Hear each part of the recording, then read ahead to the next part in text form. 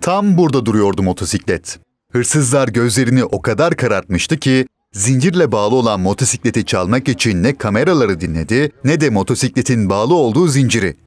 Konya'nın Selçuklu ilçesi Fatih Mahallesi Dağsaray sokakta bulunan bu site neyse ki güvenlik kameralarıyla korunuyordu. Buna karşın hırsızın kendine olan güveni izleyenleri şaşırttı. Gece saat 2.30 sularında yaşanan olayda hırsız ilk önce kameralardan kurtulmak istedi. Kameranın açısını çevirdi.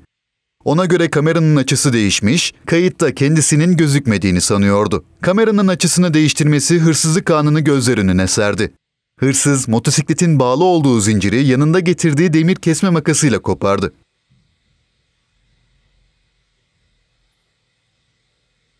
Üstelik bu motosikletin sahibi Saffet Soluğan başına gelen ilk hırsızlık vakası da değildi. Bugün sabahleyin e, birinci bölgede çalışmaya gitmiştim.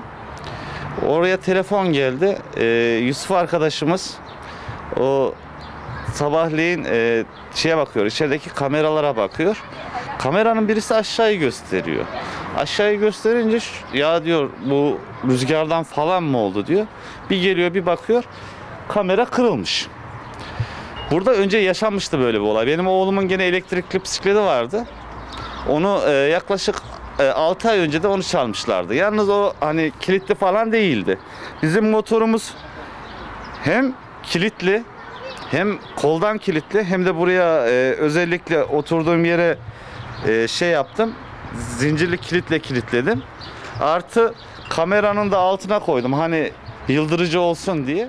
Site görevlisi Yusuf Karadeniz, hırsızların siteyi mesken edindiğini söyleyerek güvenliğin artırılmasını istedi. Şimdi e, aynı site içerisinde bu olay iki sefer yaşandı. E, aynı kişinin motoru ikinci sefer çalındı.